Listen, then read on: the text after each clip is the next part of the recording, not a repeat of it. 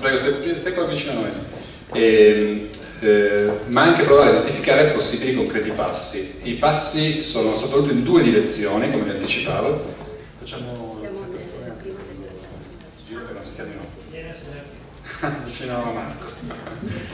E, ehm, i due passi eh, più importanti, poi chiaramente chi parlerà potrà anche, fare anche delle altre proposte, su cui, i due passi su cui ci invita a riflettere anche specificamente AICA, sono da una parte il lato formazione, educazione. Userei proprio più specificamente la parola educazione, perché qua soprattutto parlando di etica e più educazione che qualunque altra cosa. Quindi che cosa può fare eh, in, in, generale eh, l'Accademia italiana, non solo l'Accademia, eh, per introdurre questi temi all'interno dell'educazione dei nostri futuri ingegneri, futuri informatici, tutti quelli che hanno a che fare con il digitale, che discipline stanno aumentando costantemente che, di quelle che hanno a che fare con il digitale, e il secondo lato invece i professionisti. Avete sentito parlare di eh, Code of Ethics e Code of Conduit, quindi eh, specifiche regole deontologiche professionali per gli informatici, quindi il codice professionale di cui ho parlato eh, i due interventi della mattina, in particolare Declan Brady.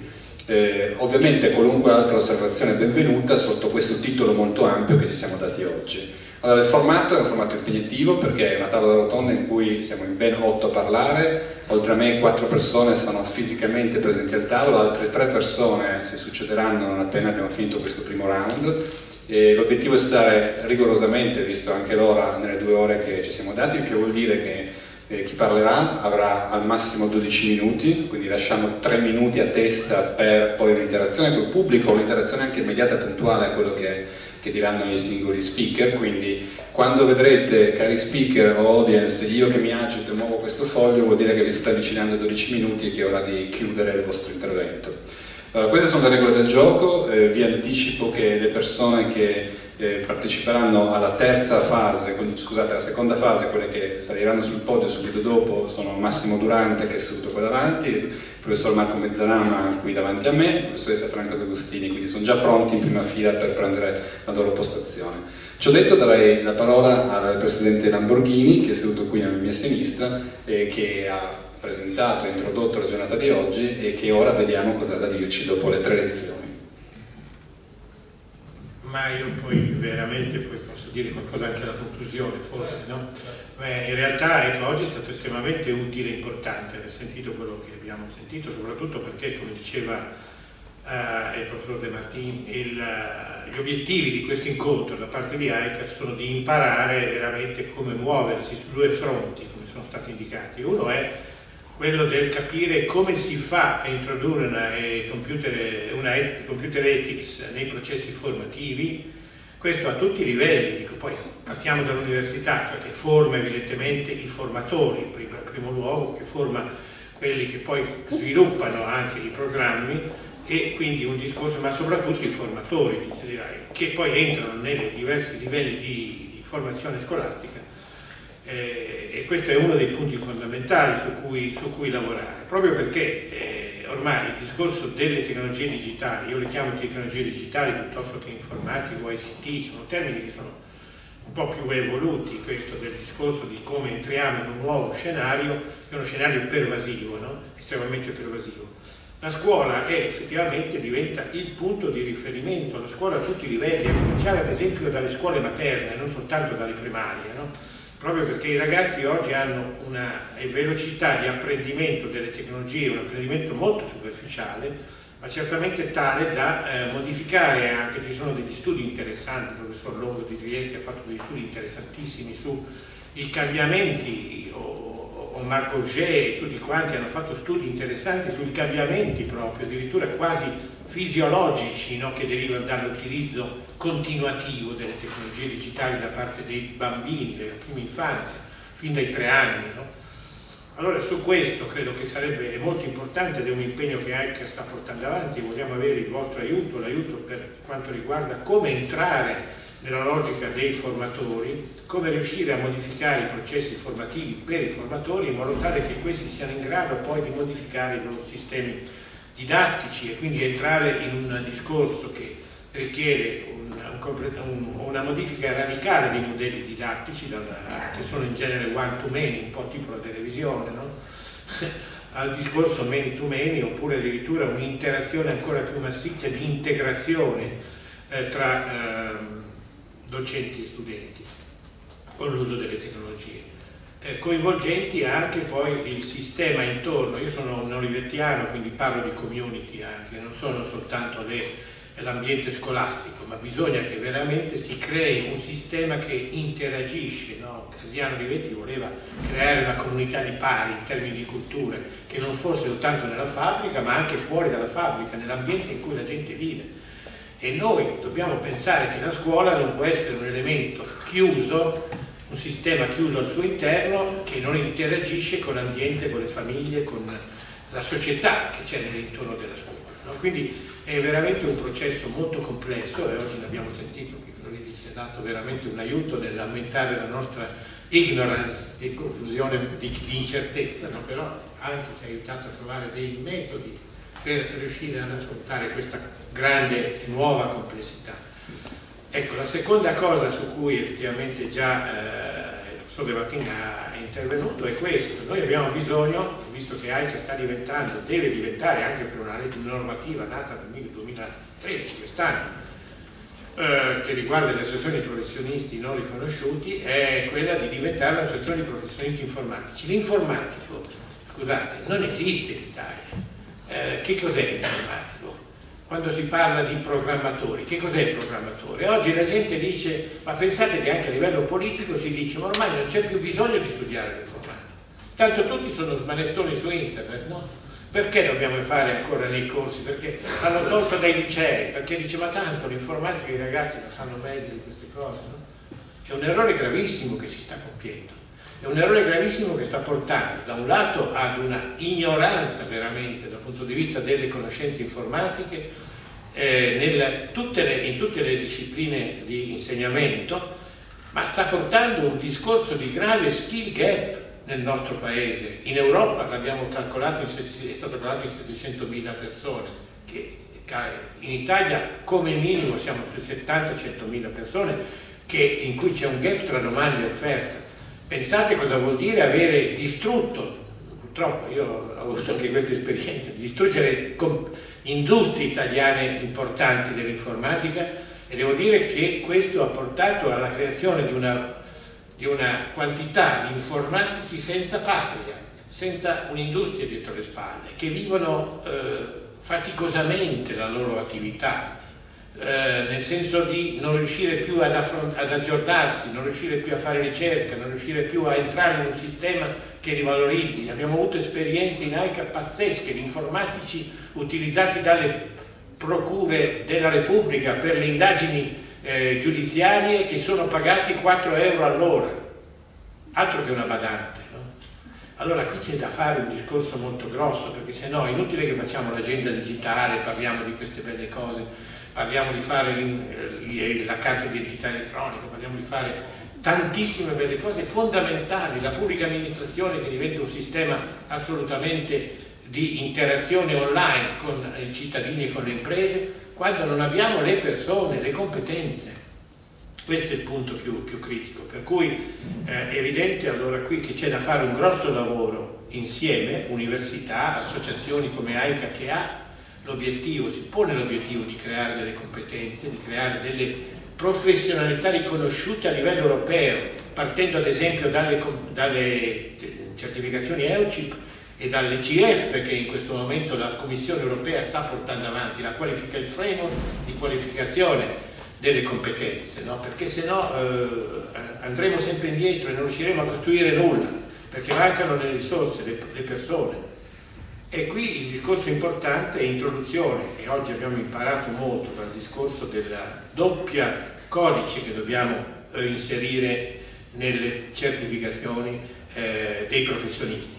Per fare dei provvedimenti, il codice di etica e il codice di condotta, che sono due cose che ci hanno spiegato molto chiaramente che devono stare insieme, non possono restare isolati, il codice di etica come principi fondamentali su cui basare la, la, costruzione del professionista e poi il codice di condotta da verificare poi periodicamente così come le competenze. Questo è molto importante per dare un eh, senso di serietà e di importanza questa, in questa direzione. Credo che, eh, come, dicevo, come, dicevo, prima, ecco, effettivamente noi dovremmo cercare insieme a essa di continuare su questa strada, no? proprio perché abbiamo bisogno, non è più un problema soltanto di un momento su cui discutiamo, troviamo delle possibilità di lavoro, ma qui è un problema che riguarda tutta la nostra società. E quindi dobbiamo allargare se possibile il cerchio per portare questo discorso allargandola a, a, e anche mettendo assieme quelle che sono le competenze, si parlava prima del, eh, del codice etico della professione sanitaria, no? che ha dei codici, un codice etico certamente, i medici hanno un codice etico, allora a questo punto l'informatico che entra nella sanità, che si integra nell'attività degli operatori sanitari, deve mescola, unire assieme la, il codice etico dei, dei, della base sanitaria dei medici con quello del, dell'informatico, quindi ritrovare una identità di codice eh, di, di, di etica informatica che si sposa assolutamente con quella delle singole applicazioni eh, dove l'informatica trova spazio.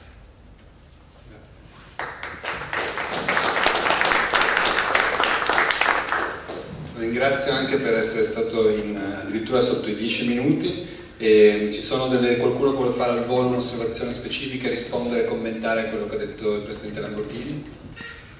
Altrimenti poi andando avanti creiamo poi degli spazi di discussione più generali. Allora passerei la parola a Luciano Floridi che come avete capito anche quando ha parlato italiano è chiaramente italiano, anche se ormai da molto tempo all'estero, so che continua a avere frequenti contatti, lo dimostra anche l'incontro di oggi con il nostro paese. Che impressioni ti facciamo? A che punto è la nostra discussione?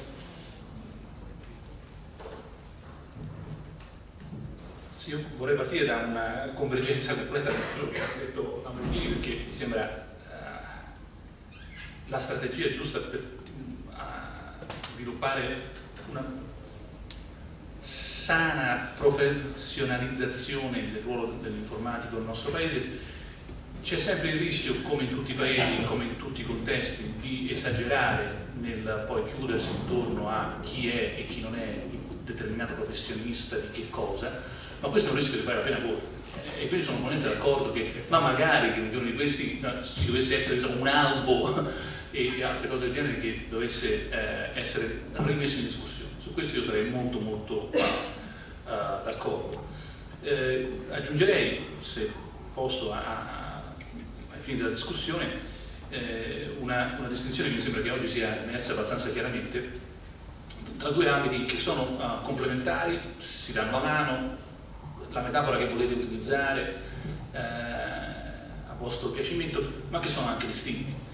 E uno, per metterla in maniera un po' meno più concettuale, da un lato noi abbiamo in termini di computer ethics in generale, e farei riferimento al sottotitolo del convegno, eh, una sorta di deficit concettuale, cioè noi, il mondo è cambiato sotto i nostri piedi più velocemente dei nostri parametri di idee, di concetti, di quadro generale con il quale noi capiamo come funziona il mondo e ci troviamo un po' spiazzati. È come se qualcuno avesse tirato il tappeto.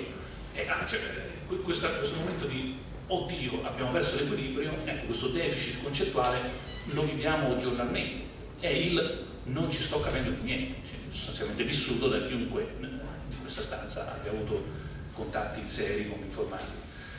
Oh, questo deficit purtroppo funziona un po', come abbiamo visto anche in precedenza, è una sorta di, di, di rincorsa, perché tanto più noi velocemente sviluppiamo le tecnologie che ci stanno dando una mano a fare tantissime belle cose, tanto maggiore questo deficit eh, sembra essere eh, incrementato. Ora questo non è che con questo non voglio dare un'impressione negativa per cui non c'è soluzione, questa sorta di corsa a riarmo, ma è vero che c'è tanto lavoro da fare sul versante di quali sono gli strumenti concettuali che ci permettono di, uno, capire e due, disegnare le soluzioni giuste, perché capire è utile, ma poi se non ci si fa niente con questo capire resta anche un po' sterile. Parlando di ingegneri, io direi appunto un'ingegneria concettuale che quindi fa tutto, tutti e due i lavori di analisi e sintesi, non di analisi soltanto, e qui parlo di quei pochi filosofi che stanno qua, che capiscono qual è il riferimento. Ora, questo da un lato, quindi da un lato noi abbiamo, questa la distinzione che vorrei fare, ma vi dico la distinzione che non è una dicotomia, ma è capire dove stanno le cose deficit concettuale. Dall'altro c'è un deficit formativo che abbiamo visto essere cruciale e non è un caso che le due cose avvengano al contempo. Cioè il deficit formativo è anche un deficit ovviamente di, di istruzione, di educazione fin dall'inizio, di consapevolezza di quali sono problemi più ampi che vanno al di là del codice da, da, da, produrre entro domani o del nuovo gadget che deve essere messo in commercio no, entro un anno.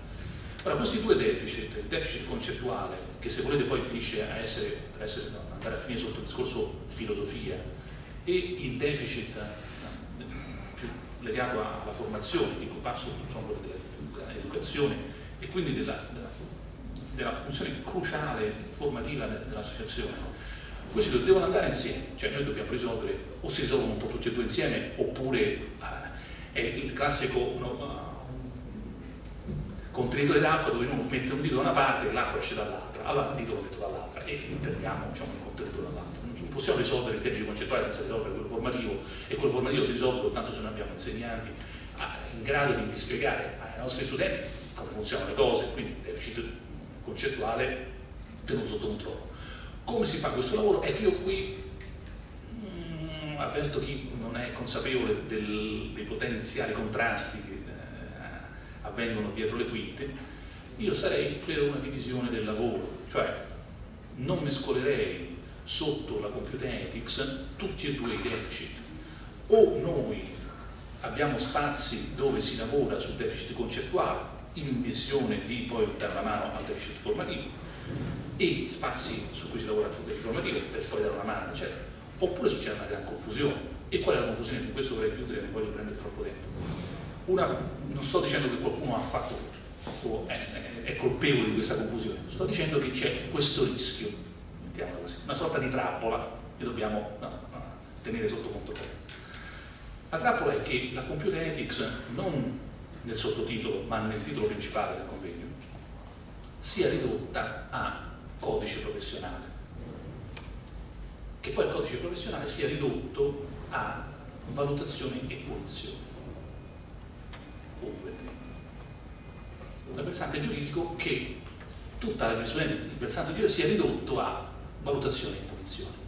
Le due cose si incrociano e quindi la computer è come facciamo a punire l'informatico quando sbaglia. Non è possibile. Cioè, con tutto quello che ci siamo detti oggi. È, è, è, questo però vuol dire è un riduzionismo cieco, bieco, che aumenta il problema. È esattamente quello che il politico stupido di turno vorrebbe che le facessimo. Perché poi lo stupido di turno dice, ma qual è il problema? Il problema è, ah, questi hanno sbagliato questo codice di linea, sai facciamo la galera, cioè, questo qui se sbaglia, 10 anni, oppure multa. Quello che abbiamo risolto con questa operazione è fare tanti bellissimi documenti di cui lo ci, ci ricordava stamattina, che vengono messi lì. C'è tutta una, una filosofia della soddisfazione di, di queste norme nel ticking the box e abbiamo chiuso il discorso. Cioè non abbiamo risolto né il deficit concettuale, perché ne sappiamo meno di prima, né il deficit, quello formativo. Allora, questa trappola che sta davanti a noi, questa è la trappola che secondo me bisogna a tutti i costi evitare. Questo è, la catastrofe. E questo è successo purtroppo in Gran Bretagna. Quando Simon ci ricordava che le cose non sono andate bene in Gran Bretagna, è perché noi abbiamo fatto esattamente, no, scusate, loro, perché io non c'ero, loro hanno fatto esattamente questo. Cioè si sono illusi che riducendo il, il diritto a valutazione e punizione e la computer ethics a codice, le due cose si sposassero e si potessero risolvere con quanto penalizziamo chi sbaglia, ci siamo persi di vista i due problemi fondamentali. A quel punto, e chiudo il mio intervento, non si è più preso sul serio, né da chi ha a cuore il codice formativo, scusate, il deficit formativo perché non abbiamo, non abbiamo risolto, non certamente un codice diciamo, professionale, da chi poi lavora sull'altro versante per eh, avere a che fare con il codice insomma, notte, con, passare una giornata lunga, eh, con il deficit concettuale. Cioè chi aveva a cuore quei problemi resta deluso dalla soluzione e va altrove. Questo sarebbe, se posso permettermi, l'output peggiore di una bellissima iniziativa. Ecco, di fronte a questa trappola, chiudo qui e vorrei sollevare una bandiera rossa di attenzione, qui c'è un, potenziale eh, errore che è costato molto ai nostri colleghi di Gran Bretagna. Non ricadiamo lo stesso errore, impariamo da loro. Sì.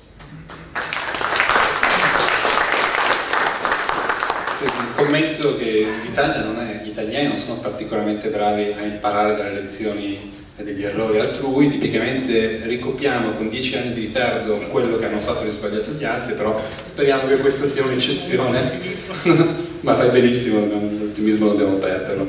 Allora, a meno che non ci sia qualcuno con urgentissimo bisogno di commentare questo per di Luciano Flori, di passare la parola a Norberto Patrignani. Prego. Concordo pienamente con Luciano Floridi, nel senso che la, qui alla, al Politecnico di Torino, come sapete, dal 2008, con le difficoltà che stiamo parlando adesso, abbiamo introdotto questo corso Computer Ethics per eh, PhD students in inglese, abbiamo studenti da tutto il mondo, eh, corso di 30 ore nel quale diciamo, parliamo di etica applicata, io sono un practitioner, sono un ex olivettiano, ci danno olivetti, e, e, quando ho bisogno di basi teoriche devo dire eh, ho, due, ho due maestri, da una parte Lessig con il suo Codice Law che ci ha insegnato come nel nuovo mondo noi incorporiamo sempre di più la norma nel codice e quindi la maggiore responsabilità di chi scrive il codice, la maggiore bisogno di, di legittimare la, la, scrittura del codice di fronte alla società e, e, e il concetto di entropia di Luciano Floridi nell'infosfera. Queste sono le mie due, quando ho bisogno di affondare un po' nella teoria, poi mi diverte tantissimo rileggere sempre eh, volentieri il libro della collega D'Agostini sui paradossi, che è, il mio... queste, quando ho bisogno di, di, anch'io di, di abbeverarmi, diciamo, di, di aggiornarmi e di avere una più forte base teorica. Cosa facciamo in questo corso? Allora, eh, proprio per evitare no, di, di, scadere nella, eh, nei dieci comandamenti o nella, nel corso di computer ethics eh, generiamo domande. Cioè, eh, l'obiettivo è far uscire, introdurre il dubbio dell'ingegnere, eh, far uscire questi ragazzi con più domande di quelle con cui sono entrati. Eh, ovviamente abbiamo una metodologia che è quella che abbiamo sviluppato con tanti colleghi a livello internazionale, quando Waterman, quello che citava stamattina, ehm, Simon Rogerson, e la metodologia è essenzialmente quella di riuscire a costruire di fronte a uno scenario la stakeholder networks, cioè quali sono tutti gli stakeholder che, ne, che vadano oltre possono andare oltre la, la semplice videotastiera eh, nel quale è abituato a lavorare l'informatico e quindi riuscire a capire che la, la propria opera, la, la, proprio ingegno verrà applicato in contesti molto più vasti che non siano solo l'aspetto tecnologico, questo è diciamo, l'obiettivo principale che ci poniamo. Quindi costruiamo queste stakeholder network dove andiamo a individuare tutti i vari agenti che contribuiscono, anche virtuali, eh, e poi le relazioni tra di loro. E poi sopra queste stakeholder facciamo dei ragionamenti, delle domande, delle questioni, cioè quali sono le, le, questioni che secondo voi possono emergere in questo scenario? E quindi un approccio un po' bottom up. Insieme a loro usciamo con una serie di, eh, diciamo, di problemi, quindi costruire dello scenario, andare a vedere le, le, le ethical issue che possono esserci e ipotizzare possibili eh, azioni per, eh, affrontare, per affrontare appunto questi dilemmi etici. Eh, nel, nella parte teorica diciamo, riusciamo, anche grazie al concetto di entropia e al, al Codice Law di Lessig, a passare da una computer ethics che era eh, una, uno strumento per colmare il cosiddetto policy vacuum di Moore, no? abbiamo questo continuo, siamo sempre alla rincorsa e noi dobbiamo ehm, riuscire a colmare questo gap. Passare invece a una seconda, eh, possiamo dire, una seconda visione delle computer ethics po' più positiva, un po' più proattiva, appunto, eh, rispondere alla domanda ma qual è allora la strada giusta? Non solo andare a punire dove c'è l'errore, ma qual è la strada giusta?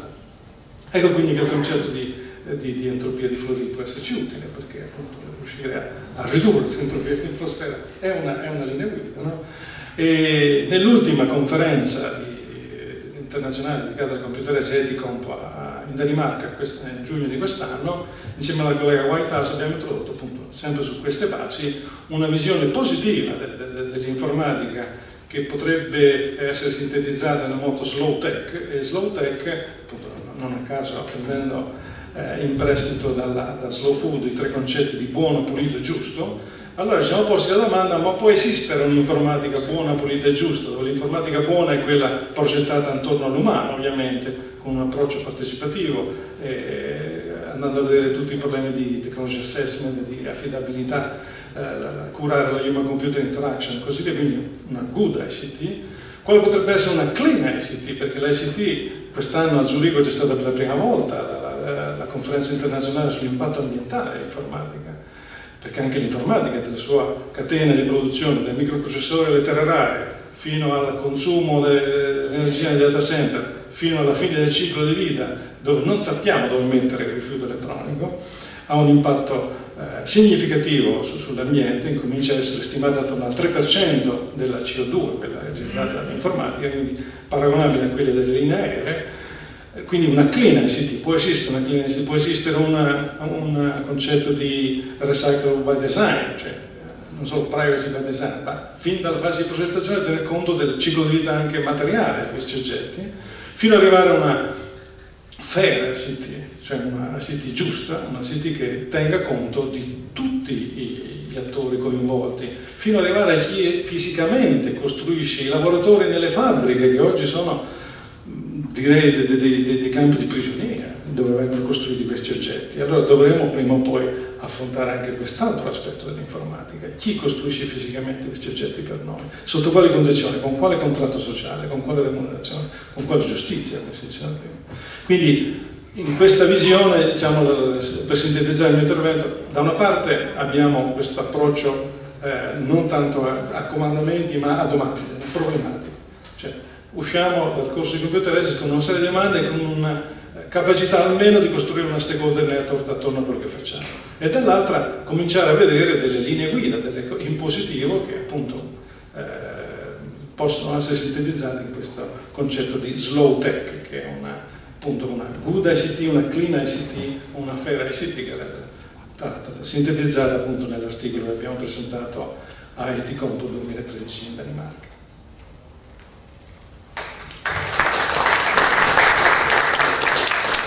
Grazie Gian Alberto, ti guardo, nessuno alza la mano, passerei quindi al professor Meo, prego.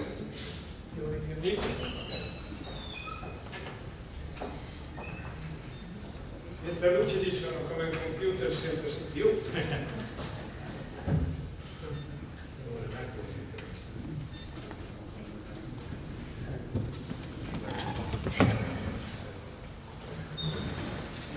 Qua. Grazie.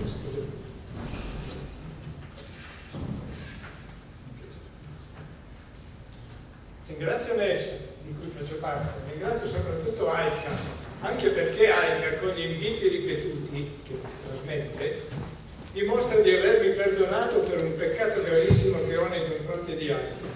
Infatti alcuni anni fa stavo per essere eletto presidente di AICA quando si scoprì che, ave, che era un socio moroso.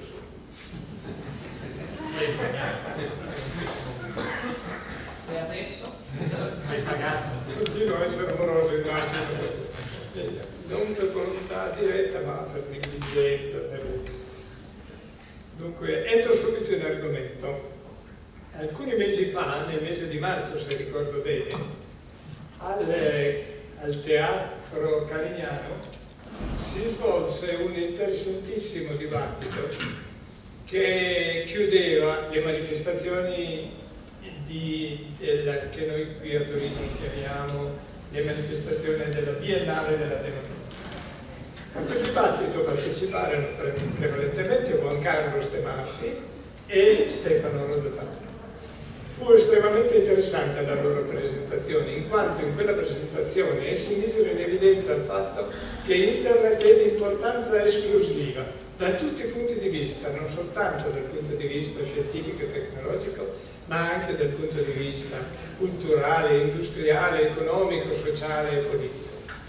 Sulla base di quella riflessione essi giunsero alla conclusione che è necessario eh, formalizzare il fatto che l'accesso ad internet è un diritto universale che deve essere garantito a tutti i cittadini. Addirittura proposero, non ricordo bene se in quella circostanza o in una circostanza successiva, di introdurre questa proposizione dentro e la Costituzione del nostro Paese. Io sono perfettamente d'accordo con le loro conclusioni. La mia relazione però si soffermerà sulle difficoltà pratiche che si incontrano nell'esercitare questo diritto. Adesso, per ragioni di tempo, non posso soffermarmi sul racconto che avrei, avrei avuto intenzione di farvi, ma che farò dopo la riunione più tardi agli amici, su quella che è stata la mia esperienza su di un progetto volto a garantire la videoconferenza ai bambini ammalati, dove eh, le difficoltà sono state enormi.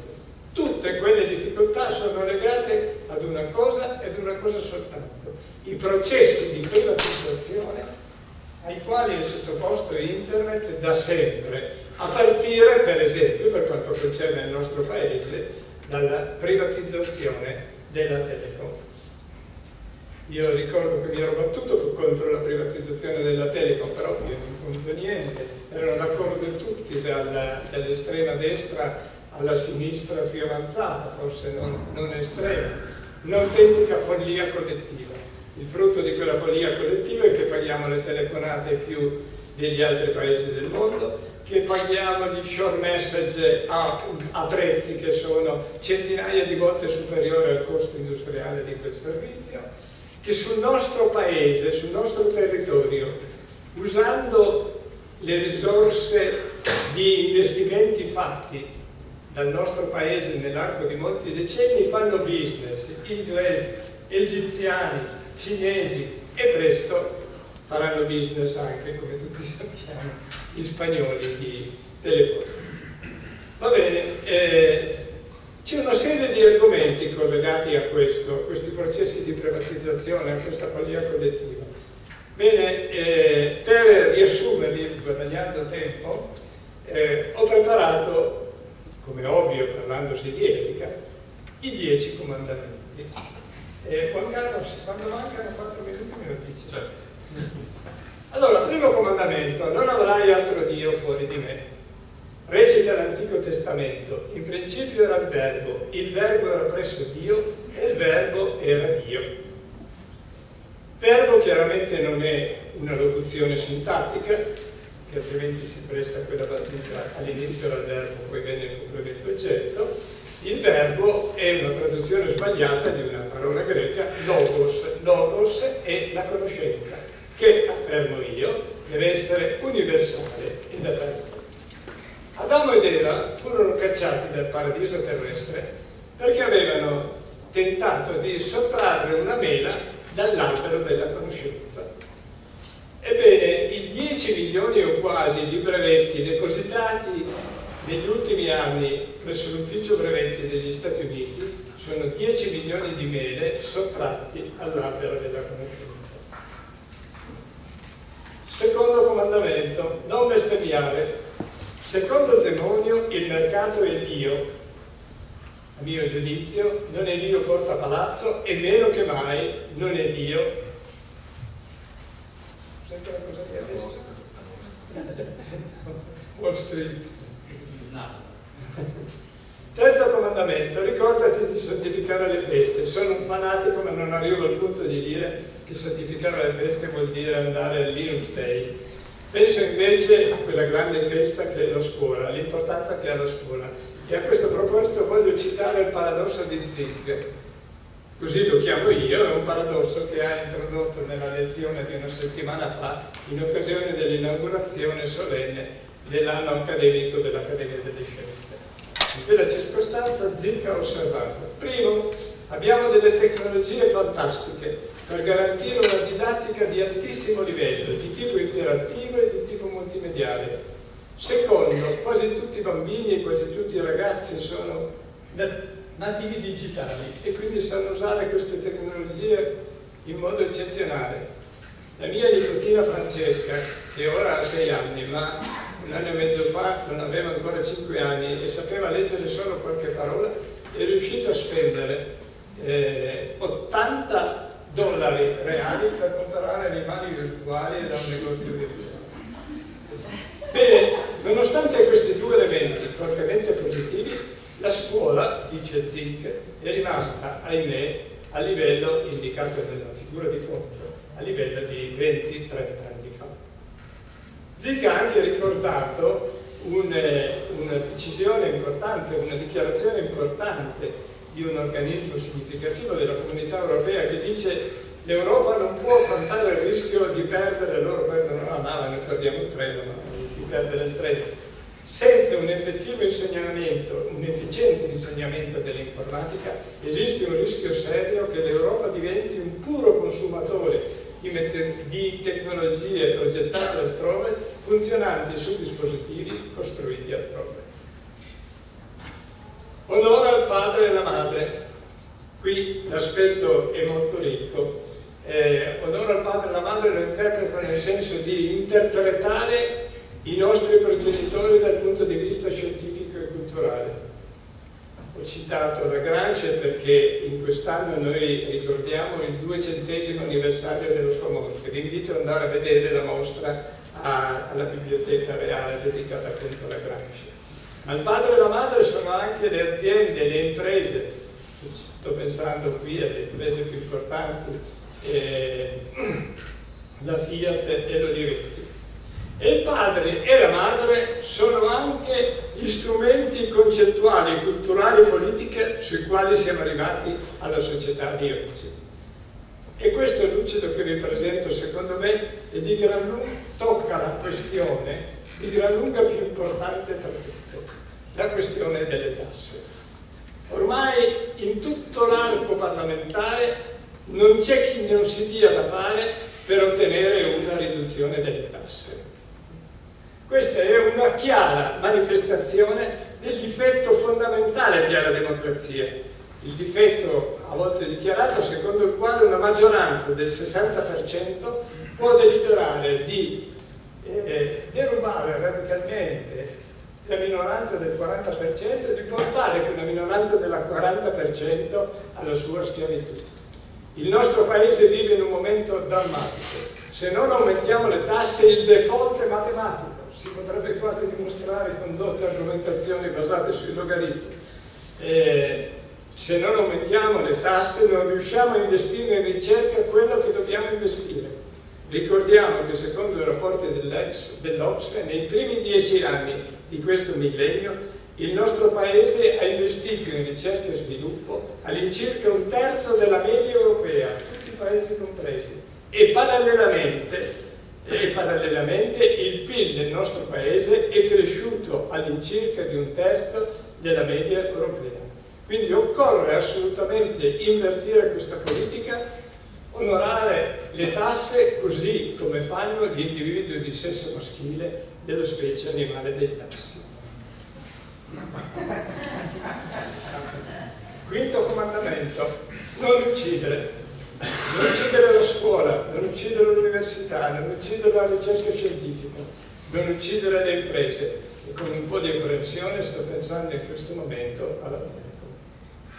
Sesto comandamento, non commettere atti impuri, ovvero le sfilate di moda e la larga banda. Premetto subito che quando penso agli atti impuri non sto pensando alla concupiscenza delle torte, delle tette della Minetti, che il impiegato mia moglie sono state oggetto tra l'altro di un'intelligente operazione di ristrutturazione. E non sto pensando a questo, ma sto pensando a ben altro. Sto pensando ai rapporti tecnici che leggiamo ogni giorno a proposito dell'Italia futura, dove la prima delle priorità è la larga banda, portare la larga banda ai cittadini. Si parla di nuovi fantastici progetti, si parla del G5 e così via. Ora, io comprendo perfettamente che una sfilata di moda con la Minetti richiede pixel piccoli, piccoli, piccoli, tanti pixel piccoli, piccoli, piccoli e tanti bit per ogni pixel. Però prima di portare il gigabit al secondo ai cittadini ricchi bisogna portare i megabit al secondo alle scuole e agli ospedali. Settimo, non rubare, ancora una volta penso alle mele della conoscenza e penso a quell'autentico fenomeno di follia collettiva che è diventato l'istituto del brevetto. L'esplosione delle conoscenze degli ultimi anni ha fatto sì che ogni brevetto che viene prodotto in questi giorni, in questi anni, fa semplicemente ride. Sono barzellette. Se volete convincervene, andate a casa, collegatevi a Google e scrivete patent e il nome di qualunque oggetto gatto, cane, sedie e così via, troverete migliaia di progetti, migliaia, mancano i progetti. Grazie. E quindi assolutamente Eh, potete per esempio divertirvi a confrontare i brevetti della Apple sulla base delle quali eh, le, le corti americane condannano Samsung. E i, viceversa i brevetti eh, sulle basi delle quali la Apple viene condannata dalle corti eh, eh, asiatiche. La colpa è del buon Dio che prima delle sue fantastiche invenzioni avrebbe dovuto darsi da fare per depositare agli uffici brevetti tutte le sue invenzioni. Questo è un lucido sbagliato. Non dire falsa testimonianza. Qui ho preso a riferimento eh, l'ex Presidente del Consiglio. Un po' di storia. Durante l'estate, pochi mesi prima, durante l'estate dell'anno scorso, un paio di deputati creones, approfittando della distrazione dei colleghi, erano riusciti ad ottenere una leggina che dice per default le pubbliche amministrazioni devono adottare il software. Allora il governo Monti, proprio due giorni prima di decadere, ha ritenuto opportuno di porre un rimedio a questa tremenda legge ed è uscito con un decreto legge. Rido perché sto pensando a Marco che sorride perché insieme abbiamo scritto il documento, un decreto legge che è addirittura divertente, perché chiaramente non ha scritto Monti, non ha scritto nessuno dei ministri, io spero, ha scritto direttamente il rappresentante delle multinazionali del software, non vi so dire quale. E la comunità europea vuole che i formati e gli standard di interoperabilità tra le pubbliche amministrazioni siano aperti. Ebbene, cosa dice Monti a proposito? Utilizzo di formati di dati e di interfacce di tipo aperto, virgola, nonché di standard in grado di assicurare l'interoperabilità e la cooperazione applicativa tra i diversi sistemi informatici della pubblica amministrazione. La semantica della parola italiana nonché spiega tutto. Eh, sugli altri due punti non ho il tempo di soffermarmi, vado oltre. Io non ho votato per Monti, ho votato per Bersani, ma quando penso alle sue lenzuolate di liberalizzazioni penso che sia anche lui un bel campione della falsa costituzione. Altri esempi, sempre a proposito delle... Eh, quanto manca? Direi un minuto? Sì. Eh, altri esempi, eh, il demonio, a proposito della privatizzazione della Telecom, il demonio incarnatosi in un economista bravissimo, di cui non cito il nome perché obiettivamente lo considero molto bravo, forse più bravo, scrisse un paese come l'Italia deve porsi l'obiettivo di privatizzare le imprese pubbliche. L'Angelo, Angelo Raffaele, scrisse invece a proposito di economia di scala, grossi guai deriveranno dalla privatizzazione della Telecom.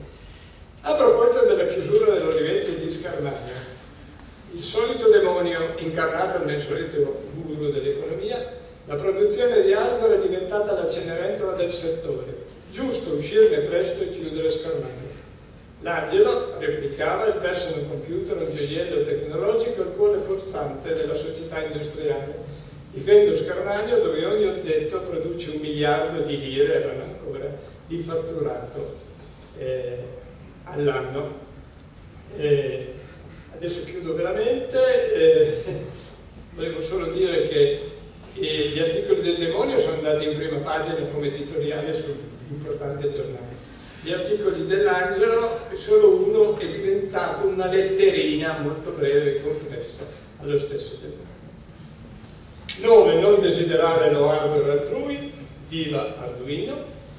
10. Non difendere il software altrui, viva i milioni di programmatori che amano il software libero. Grazie.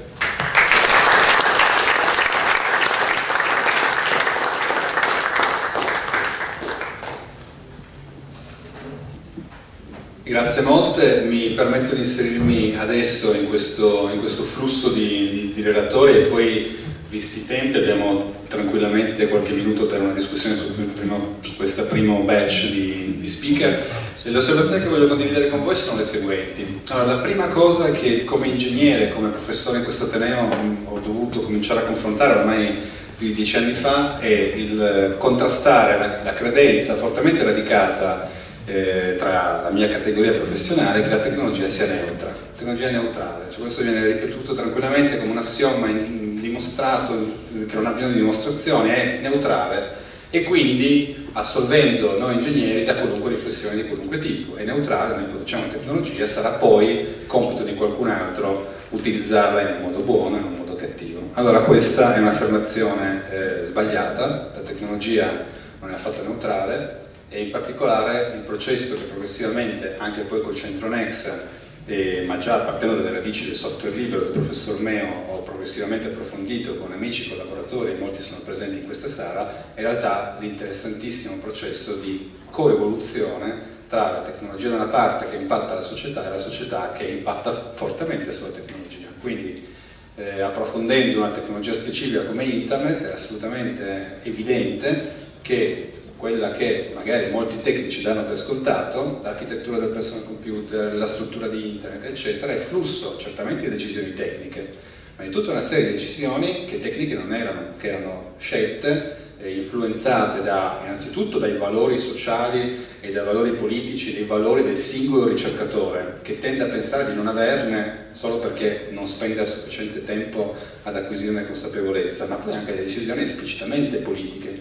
Quindi quando la TARPA nel progettare le prime reti di commutazione di pacchetto dava indicazioni, pur lasciando ampia libertà ai ricercatori dell'epoca comunque, pilotava in quel caso con gentilezza, con dei colpetti, nudge si direbbe adesso, eh, li indirizzava verso certe direzioni piuttosto che altre, salvo poi intervenire con decisioni autoritative e forti del tipo dal 1981 tutte le cose che compra il Dipartimento della Difesa devono essere TCP/IP e in questo modo determinando la vittoria assoluta di un protocollo rispetto a tutti concorrenti e gli esempi potrebbero moltiplicarsi. Quindi la tecnologia di per sé non è neutrale, ai miei studenti di rivoluzione digitale racconto ovviamente in maniera molto rapida, per esempio gli dico, leggiamo insieme le 76 domande ragionevoli eh, da domandare a, riguardo di qualunque tecnologia di Jacques Ellul e quindi chiedersi l'impatto ecologico, l'impatto sociale, l'impatto pratico, l'impatto morale, l'impatto etico, vocazionale, metafisico, politico, estetico di una tecnologia. Tutto un ampio spazio cui, in cui io stesso, io per primo, ma sicuramente eh, la mia categoria deve eh, esercitare questo muscolo, capire che è un muscolo importante, poi dirò anche da quali punti di vista è importante, non soltanto in astratto. La seconda osservazione è, e l'abbiamo toccato in tutta la giornata, il professionalismo, cioè la, consapevolezza, l'autoconsapevolezza di essere professionisti. Allora, è tutt'altro che una cosa ovvia o scontata eh, essere un professionista e far parte poi, nel caso specifico italiano, addirittura di ordini professionisti, nel senso che la società liberale nel corso del tempo ha concesso a determinate categorie di lavoratori un certo livello di autonomia e un certo livello di autonomia vuol dire che sono, a loro è consentito di autoregolarsi per alcune faccende relative alla propria professione. A patto che, il patto sociale è che vi concediamo questa autonomia, a patto che voi vi restiate all'altezza delle aspettative sociali eh, rivolte verso i medici, verso gli avvocati, verso gli ingegneri, eccetera. Queste aspettative sociali si concretizzano anche in una deontologia professionale e ci ricolleghiamo al discorso che ha fatto benissimo Luciano a circoscrivere, a far capire che non si riduce soltanto a questo, ma un discorso di un codice di comportamento che si può estendere anche nella direzione di qual è il ruolo sociale, qual è il compito eh, del professionista di un certo ordine di professionisti. In alcuni casi è più facile forse, anche perché storicamente l'autoriflessione è stata più evoluta, come nel caso dei medici, nel caso degli informatici forse, anzi direi certamente, la riflessione anche per motivi storici non è ancora così articolata e così ricca, quindi capire il ruolo dell'informatico, dell'ingegnere informatico nella società è ancora a passi storicamente meno evoluti rispetto ad altre discipline più antiche. Eh, detto questo, direi che è un momento particolarmente favorevole dal punto di vista storico per parlare di computer ethics o di responsabilità in senso ampio. Eh, partendo da alcune basi storiche, e una l'abbiamo sentita con grande chiarezza da Angelo Raffalemeo, il ragionamento sul software libero è un ragionamento, è un movimento è un'industria, è tante cose, ma è un movimento che è partito da una singola persona che ha fatto un ragionamento etico. Richard Stallman, il ragionamento sul software libero è un ragionamento etico sul quale ha costruito poi, in maniera molto logica e molto eh, razionale, eh, la giustificazione per tutto il movimento del software libero. Questo è una radice importante. Negli anni, decenni scorsi, direi dagli anni 80 in avanti, da quando nasce in realtà l'industria del personal computer, abbiamo anche altri esempi, in anni un po' più recenti rispetto al software libero, per esempio penso al lavoro fatto da eh, Yochai Benkler, adesso professore ad Harvard, che si, si è concentrato sull'importanza di reti wireless decentrate aperte, quindi le reti mesh, la possibilità di avere anche questa tecnologia importante di connessione nelle mani del, del singolo, quindi l'importanza di eh, fasce di spettro bianche, cioè liberamente utilizzabili come quelle utilizzate per il wifi. Questo è un altro esempio eh, di, di una proposta tecnologica a cui si arriva da una riflessione di tipo sociale ed etico, cioè si parte prima dalla consapevolezza dell'importanza di poter dare la possibilità ai cittadini di connettersi via wireless senza impedimenti e poi si arriva alla specifica proposta tecnologica, almeno questo dal punto di vista di Joachim Beckler e di parecchi altri.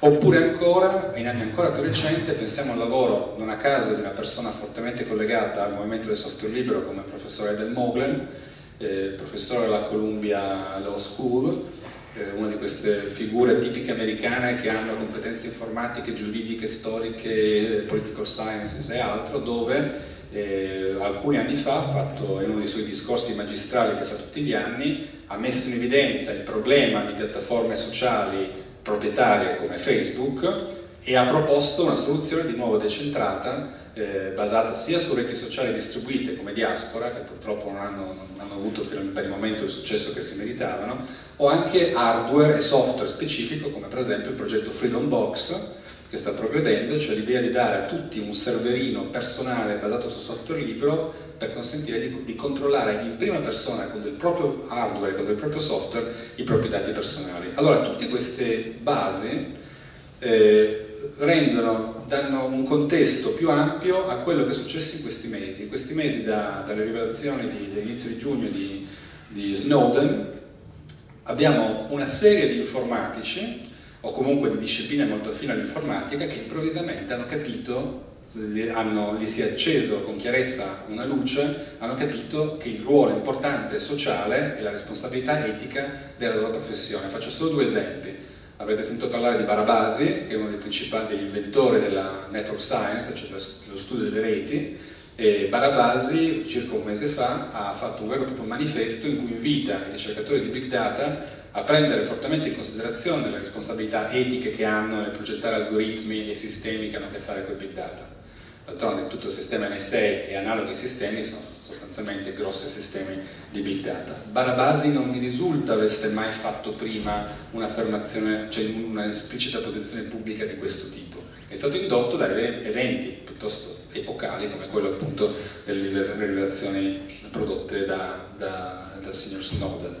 La seconda cosa che mi ha colpito è chi si occupa di sicurezza in questa sala conoscerà Bruce Schneier, eh, grande esperto di crittografia, io mi ricordo quando ero ancora studente di dottorato, guardavo il suo libro di crittografia famoso e mi ricordo che all'epoca portare fuori il dischetto associato al disco era pericoloso perché all'epoca la, la, crittografia era ancora considerata un'arma e quindi rischiavo che alla frontiera americana qualcuno mi sequestrasse il dischetto e mi facesse passare un brutto, una brutta mezz'ora. Bruce Schneier, dopo la rivelazione NSA, ha detto, si è svegliato, altri prima di lui lo dicevano, lui se ne è accorto adesso, ha detto abbiamo dobbiamo assolutamente reagire come ingegneri. E quindi l'ultima riunione di ETF di, di pochi giorni fa, dell'8-9 novembre, discussione su come fare reagire alla sorveglianza di massa, quindi la, la, la proposta tecnica di crittografare tutto il traffico web, poi come farlo è un altro discorso, ma per la prima volta ingegneri se ne occupano attivamente in risposta a un evento sociopolitico e Bruce Schneier anche molto della sua attività in questo momento, in questo momento è fellow al Berkman Center di Harvard, la sua attività è di questo tipo, come fare, partendo da considerazioni etico-politiche, a proporre soluzioni tecniche che permettano di eh, soddisfare o migliorare il benessere comune. Quindi direi che anche per queste riflessioni di oggi, anche se si sono concentrate su altri aspetti, è un momento particolarmente favorevole per la categoria degli informatici e degli ingegneri informatici riflettere sul nostro ruolo. Potrei anche citare, meno drammatico nell'NSA, l'open access, Politecnico abbiamo provato insieme ad altri a fare qualcosa e continueremo, l'open access, cioè la libera disponibilità online del, delle proprie pubblicazioni scientifiche, soprattutto quelle pagate con soldi pubblici, c'è chi argomenta, come Lawrence Lessig, che in realtà è un dovere etico nel momento in cui sono pagato, specialmente come ricercatore pubblico, a produrre scienza, l'output dovrebbe essere disponibile online per tanti motivi, una delle motivazioni è anche etica. Allora, tutto questo eh, lo collego e concludo a una, in realtà un percorso storico molto più lungo, in realtà la riflessione su gli aspetti etici della tecnologia, il ruolo sociale della tecnologia, eccetera, chiaramente sono vecchi, probabilmente letteralmente di secoli. Eh, però se guardiamo soltanto un'epoca un po' più moderna, eh, sicuramente un momento molto importante è stato lo sviluppo della tecnologia nucleare, quindi con lo sviluppo della tecnologia nucleare, il Manhattan Project, nasce un movimento di scienziati consapevoli eh, che fossero direttamente coinvolti col Manhattan Project oppure no, che si chiedono ma qual è il ruolo della tecnologia? Fino a quel momento la posizione di alcuni è stata sviluppo di tecnologia nucleare, io produco una tecnologia, a parte il contrasto della seconda guerra mondiale, non sta a me preoccuparmi delle conseguenze. A quel punto diventa assolutamente chiaro che invece le conseguenze non possiamo semplicemente disfarci. E arriviamo, eh, attraversando tutta la guerra fredda, a inizio anni, fine anni 60, inizio anni 70, la profonda riflessione che viene fatta in una scuola di ingegneria, come l'MIT, a cui spesso guardiamo come un modello anche qua al Politecnico di Torino, dove il coinvolgimento molto forte dell'MIT nei programmi del Pentagono e nella guerra del Vietnam portano a un momento di autoriflessione molto spinto degli studenti, partono prima gli studenti e poi dei docenti, eh, che si chiedono ma qual è il ruolo di una scuola di ingegneria, che cosa possiamo fare? Cosa possiamo fare sia nello specifico, eh, contratti col Pentagono, risposta poco o niente perché il 90% del budget viene da lì, ma almeno cosa possiamo fare dal punto di vista educativo, quindi possiamo, in che modo possiamo insegnare agli ingegneri in maniera diversa per includere riflessioni di tipo etico e di tipo sociale e anche l'aspetto della ricerca. Vogliamo prendere qualcuno che ci aiuti? E qui vi consiglio, se siete interessati, a leggere la trascrizione molto bella del dialogo tra il presidente dell'MIT e, una, e membri di un comitato con Noam Chomsky nel 1969 dove riflettono proprio concretamente. Cosa facciamo eh, assumiamo dei, degli umanisti, in che modo li facciamo interagire con chi insegna matematica, fisica, ingegneria, e in che modo possiamo insegnare i corsi. C'è una riflessione molto interessante, in larga parte ancora attuale, che provoca nell'MIT e poi in tutte le università americane più importanti la creazione di graduate schools su Science, Technology and Society, cioè il filone di cui vediamo oggi un aspetto specifico nel 2013, in realtà in tempi moderni nasce alla fine degli anni 60 con questa creazione di scuole. Quindi per quello che riguarda noi, e concludo, eh, riflettendo sulla nostra disciplina, informatica e ingegneria informatica, la consapevolezza di introdurre elementi storici per esempio sono, sicuramente la storia è estremamente utile e interessante per capire che certe cose che affrontiamo le abbiamo già affrontate prima con tecnologie precedenti, gli aspetti etici, e questa è la giornata di oggi, gli aspetti di impatto sociale, quindi chiedersi qual è questa interazione tra digitale e società è sicuramente una direzione che ci arricchirebbe e tra l'altro sarebbe una direzione che porta anche a soluzioni informatiche più robuste e migliori. E qui mi aggancio a un discorso tenuto in questo Ateneo nel 97, se ben ricordo, da Ken Keniston, eh, non a caso professore all'MIT, che aveva parlato della crisi dell'algoritmo dell'ingegnere, cioè di come l'ingegnere per avere soluzioni più efficaci ha bisogno di allargare lo sguardo e includere anche una riflessione di tipo sociale più ampio. E quindi la sfida era in un certo senso già chiara all'epoca, ma lo è ancora oggi, ancora di più oggi, eh, di fronte a questi nuovi sviluppi che ho accennato prima. Grazie.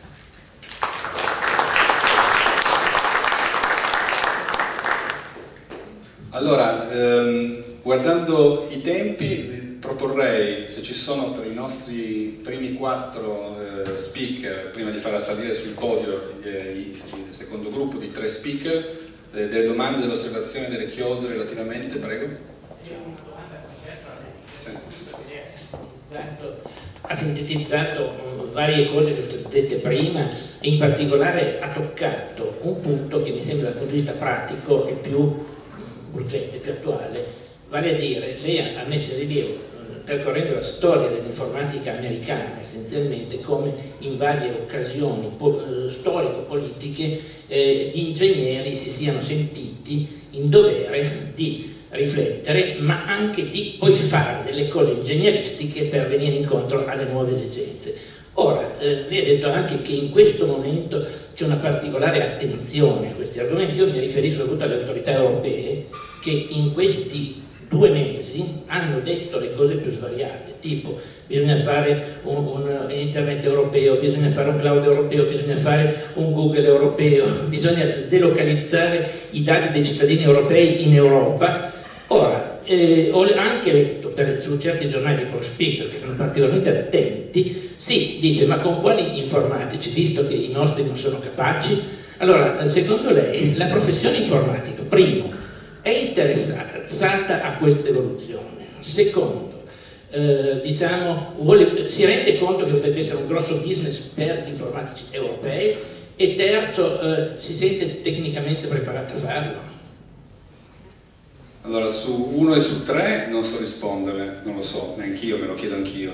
Eh, sul 2, sull'opportunità di business, in realtà è diventato rapidamente chiaro a tutti che c'è un'opportunità di business, si quantificano gli online service provider americani quantificano la perdita già in miliardi di dollari di, di, servizi persi e alcuni, per esempio la Svizzera, molto intelligentemente si è proposta come, per analogia con la sua esperienza bancaria, come un possibile cloud provider sicuro e quindi gli svizzeri sono molto rapidi nel cogliere le opportunità, ma lo stesso potrebbero farlo anche altri paesi europei. Su 1 e su 3 magari lascio la parola ai miei colleghi se hanno qualche idea più chiara della mia.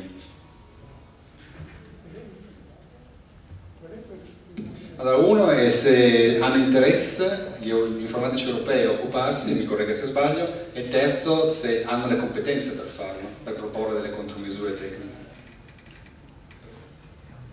Rispondo sul 3, sulle competenze. Non ho benché meno un dubbio che abbiamo le competenze.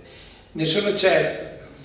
Eh, l'aspetto drammatico ancora una volta legato alla politica industriale adottata dal nostro governo credo di aver perduto negli ultimi dieci anni almeno 20 ricercatori. Questi ricercatori erano bravissimi, avrebbero voluto rimanere a lavorare con noi, ma sono stati costretti ad andare all'estero perché noi non gli offrivamo nemmeno un posto di ricercatore precario. C'erano dei giovani in quel gruppo che avevano i titoli e l'età che avevo io quando sono andato in cattedra, ma sognavano il posto da ricercatore precario e sono andati eh, in Svizzera, in Francia, in Inghilterra. Uno, lo ricordi, che si era innamorato di una ragazza eh, di, di, di, di dove era? Eh, eh, messicana, messicana che, che si era innamorato di una ragazza messicana conosciuta a un congresso e ovviamente è andato in Messico e ora rappresenta già il Messico in alcuni consessi internazionali. Quindi eh, la, la testa ce l'abbiamo, io sono convinto che soprattutto in questo territorio che ha baricentro in Torino ci sia un genius loci che ha prodotto cose meravigliose, la chimica è nata qua, eh, Lagrange è uno dei più grandi matematici di tutti i tempi, eh, la nitroglicerina è nata qua. Adesso, se vogliamo, non ho avuto il tempo di parlarne, ma Arduino è un'ulteriore manifestazione del genius loci che aleggia, quindi sono profondamente convinto che avremmo tutte le competenze necessarie per entrare in questo settore.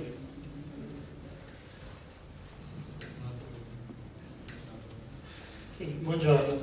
Eh, ho sentito parlare di deontologia professionale, di importanza della formazione. Ecco, secondo me è anche importante mettere sul piatto, spero di non andare troppo fuori tema, l'importanza che ha per la, no la, nostra categoria, insomma, noi come informatici, la formazione della società, quelli che sono i rischi nell'uso delle tecnologie, perché è un argomento di cui eh, la società non è ancora così formata ed è, è, e per cui forse è importante che il nostro ruolo sia anche quello di prenderci diciamo, questa responsabilità e, cercare di capire come formare ai rischi e alle buone pratiche etiche sia i singoli individui nelle loro pratiche quotidiane, ma soprattutto anche la nostra pubblica amministrazione, che molto spesso eh, tende a fare delle scelte per ovviamente ignoranza de, de, della parte politica che diciamo, eh, non si confronta probabilmente con, con gli esperti di settore, eh, delle scelte avventate o spesso addirittura errate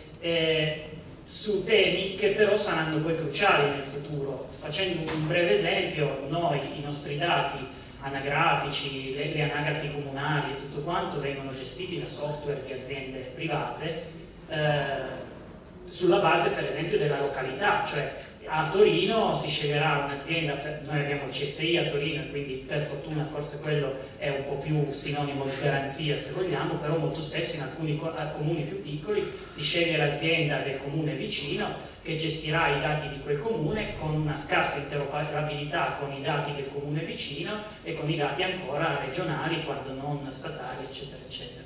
Forse sarebbe importante dare delle linee guida, prenderci un pochettino questo, questa responsabilità. Grazie.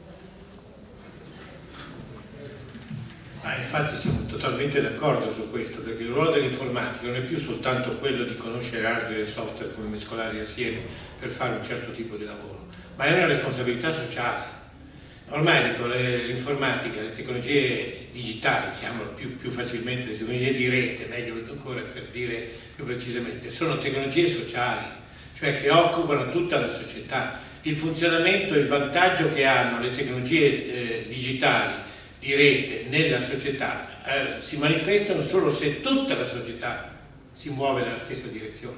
È come quando uno dice, c'è la famosa legge che dice quando c'è un telefono solo non serve a niente, due telefoni permettono la comunicazione, se crescono c'è un, in modo quadratico con l'aumento del numero delle, dei telefoni. No?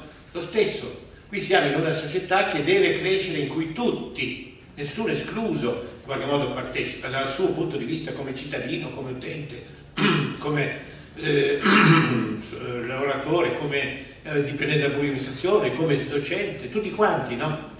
Allora, il ruolo dell'informatica, che è molto importante in questa fase, deve essere quello che deve avere la capacità di ancora di diffondere queste tecnologie nella società nel modo giusto, attraverso un rapporto che riguarda la scuola, ma riguarda le professioni, il lavoro comunque. Questo deve essere. Ormai non ha più senso, io quando parlo ad esempio molto spesso con i CIO, voi sapete chi sono i CIO, Chief Information Officer, i quali sono una popolazione, in parte alcuni sono bravissimi, ma altri sono frustratissimi perché in, hanno soltanto un compito nelle aziende, quello di ridurre i costi. Tagliare i costi dipendono dal Chief Financial Officer che gli dice guarda il budget del prossimo anno deve essere 10-15% in meno, perché poi adesso la, la tecnologia di comunicazione, adesso c'è Skype, mettiamo tutto su Skype, no? così risparmiamo. No?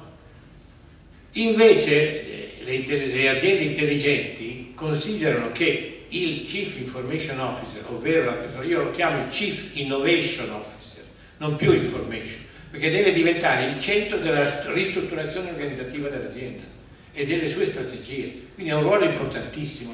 ho visto pochissimi casi di CIO al primo livello dell'azienda che dialogano con il suo delegato, che interagiscono con il suo delegato. Questo per dire a un certo punto qual è il ruolo importante della figura dell'informatico su cui noi dobbiamo costruire, siamo carenti, eh, dobbiamo ragionare sulle, su quelli, sugli informatici che sono già eh, laureati, pronti eccetera, ma su questi costruire delle, una, una, un valore aggiunto ulteriore perché devono intervenire nella società e cambiarla, questo è il punto come hanno fatto in altri paesi. Insomma. È, questa è la, è la, missione che AICA si propone assieme all'università, cioè di lavorare assieme per costruire questa nuova generazione che deve entrare nel mondo, eh, in un mondo nuovo, che è totalmente diverso, non è più il mondo tradizionale. Pensate cosa vuol dire anche la, la produzione. Produrre oggi non è più un produrre tradizionale, è un produrre attraverso sistemi di automazione produttiva, di digitalizzazione della fabbrica. Pensate cosa vuol dire oggi la, quante fabbriche stanno lavorando con le stampanti 3D di grosse dimensioni, è un cambiamento radicale, culturale, mentale, no? E questo bisogna che siano gli informatici che aiutano a fare questa rivoluzione. Quindi mi auguro veramente che si possa lavorare tutti assieme per questo. Allora, un'ultima domanda, prego. Non c'è prima. L'avevo visto prima. Eh, due cose. Prima un'osservazione sul discorso, eh, l'ultima domanda che ha fatto. Eh, io credo che uno dei, dei, doveri che abbiamo come universitari è quello di, e come informatici, è quello di attrarre i giovani migliori. E questo, secondo me, non lo stiamo più facendo. Quindi noi abbiamo, eh, questo non vuol dire che tra i laureati in informatica non ci siano dei ragazzi assolutamente in gamba, questo è sicuro, però noi non abbiamo più la capacità di attrarre veramente i migliori in modo complessivo. E questo è un problema, credo che non sia un problema solo italiano però. La seconda osservazione era questa, si parla di, di etica, di responsabilità, cioè io sono d'accordo con quello che diceva eh, Floridi prima, cioè eh, è importante l'etica e la responsabilità in assoluto, non tanto il fatto di regole specifiche per quanto riguarda eh, la professione. Quindi eh, un altro aspetto che noi abbiamo, o un'altra osservazione che noi dobbiamo fare, è quello di insegnare veramente l'etica in generale ai giovani. Questo è un problema perché altrimenti succede quel che succede. Cioè noi eh, adesso guardiamo, adesso mi veniva in mente l'esempio dei concorsi universitari, ma la stessa cosa vale eh, per i bandi di gara. Eh, la burocrazia ci impone di sostituire l'etica con dei dati che sono eh, presunti oggettivi. No? Quando si dice, poi mh, si dice agli guardate voi avete perso l'etica, oppure a quelli che fanno le gare eh, per... Eh, avete, allora dovete fare riferimento esclusivamente ai dati, quindi a dei dati che poi sono oggettivi, non lo so. Quindi il fatto di eh, sostituire l'informazione all'etica, un'informazione non so se eh, quanto oggettiva, ecco queste sono le... Io faccio un elogio di incertezza dal mio punto di vista, che non è una funzione dell'ignoranza, ma una funzione della conoscenza. E chiedo a Laika, nel momento in cui definisce che cos'è e che cosa non è etica per un computer scientist e così via, di aggiungere sempre quello che io ho sempre fatto in vita mia, o cultura equivalente. Perché quando si chiude, soprattutto in Italia, con dei limiti precisi, nel calcio discorso fatto prima, si è quasi certi di tagliare fuori i migliori, tra virgolette, quindi lasciate sempre soltanto uno spazio. Benissimo, un commento da parte di qualcuno? Forse...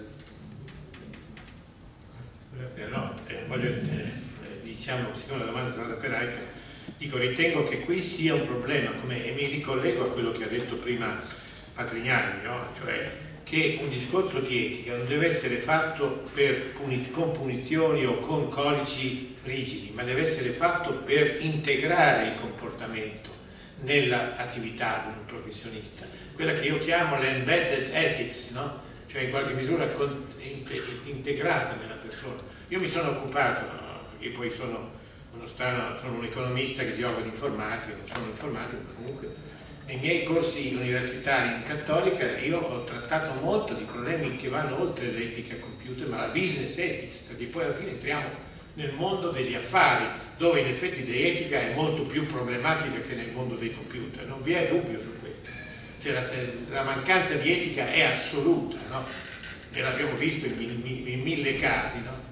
Però qui il problema vero è che quando io scopro invece che la business ethics non è un codice, e non è nemmeno una, eh, una, un bilancio sociale, una cosa di questo genere formale, ma è un comportamento integrato ad esempio, di considerare l'imprenditore come un operatore di un bene comune. Cioè, è quello che io poi dico sempre, partendo dagli esempi che ho ricavato da tantissimi casi italiani, per cui sono ottimista che l'Italia va nella direzione giusta, tanti casi italiani di gente, di aziende che stanno andando bene perché sono eticamente responsabili, si occupano del bene comune, sono socialmente responsabili. Perché io dico e concludo sempre dicendo che alla fine dei conti, anche per un imprenditore, l'etica paga. Ha un ritorno. Non è un fatto che viene fatto così aggiuntivo tanto per migliorare la facciata, ma è così. Questo deve essere anche il ragionamento che dobbiamo adottare in AICA per la definizione della professione. Con questo ringrazio molto i nostri primi quattro relatori, grazie ai vostri interventi invito sul palco eh, il professor Marco Mezzarama, la professoressa Franco De Costini e il professor Massimo Duranta.